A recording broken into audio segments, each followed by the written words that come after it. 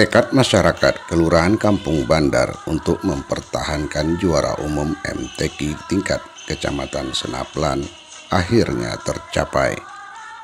Berdasarkan keputusan Dewan Hakim MTQ tingkat Kecamatan Senaplan tahun 2023 atau 1444 Hijriah menetapkan Kelurahan Kampung Bandar sebagai juara umum pertama dan mampu mempertahankan prestasinya. Nilai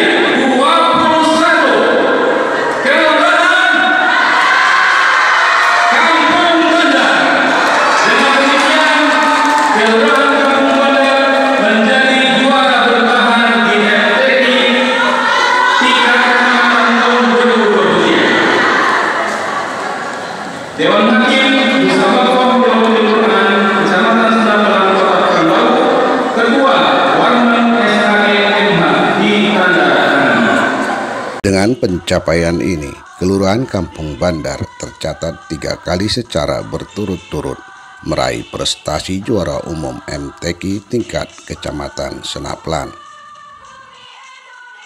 Acara Musabako Tilawatil Quran tingkat Kecamatan Senaplan yang dipusatkan di Masjid Raya Pekanbaru Jalan Senaplan ini berlangsung sejak 31 Januari kemarin yang dibuka oleh PJ Sekdako Pekanbaru Indra Pomina Sution STMSI dan ditutup pada 1 Februari malam oleh asisten 1 Sekdako Pekanbaru Dr. Sof Faizal.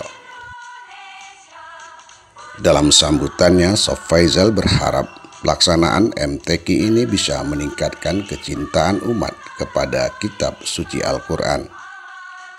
Sof Faizal juga mengajak warga khususnya umat Islam untuk mengimplementasikan nilai-nilai Al-Quran di dalam kehidupan sehari-hari. Tidak hanya itu, asisten satu Sekdako Pekanbaru ini juga mengajak warga Pekanbaru untuk mendukung program pro rakyat PJ Wali Kota, salah satunya menjaga kebersihan lingkungan dan membuang sampah ke TPS pada waktu yang telah ditetapkan. Di akhir kata sambutannya, asisten satu Sekdako Pekanbaru ini menyampaikan ucapan selamat kepada para pemenang, panitia MTQ, dan khusus kepada Ketua Masjid Raya Pekanbaru yang telah menyediakan tempat sebagai tuan rumah MTQ tingkat Kecamatan Senaplan.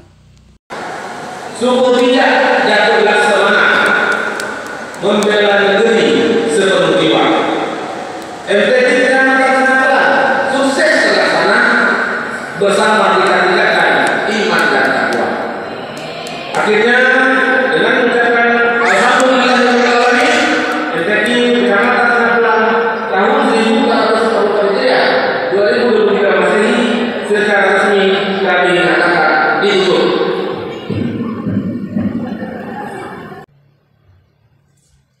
Ketua LPM Kelurahan Kampung Bandar mewakili masyarakat Kampung Bandar mengucapkan terima kasih kepada seluruh pihak atas tercapainya hasil gemilang yang diraih kafilah Kelurahan Kampung Bandar. Terima kasih banyak kepada para pendidik, para ustaz, para ustaz, para orang tua, para pengurus musola masjid yang telah banyak membina anak-anak didik kita untuk belajar Al-Quran dan sehingga pada dapat juara dan dapat mempertahankan juara umum sebagai pemenang utama di kejuaraan MTQ di Masjid Raya. Acara penutupan MTQ tingkat Kecamatan Senaplan ini dihadiri Camat Senaplan, Wakapolsek Senaplan, Sekretaris Camat, Lurah Sekecamatan Senaplan, Ketua LPM, Ketua Forum RT RW, Ketua LPTQ, Ketua BKMT, serta tokoh agama dan tokoh masyarakat Senaplan.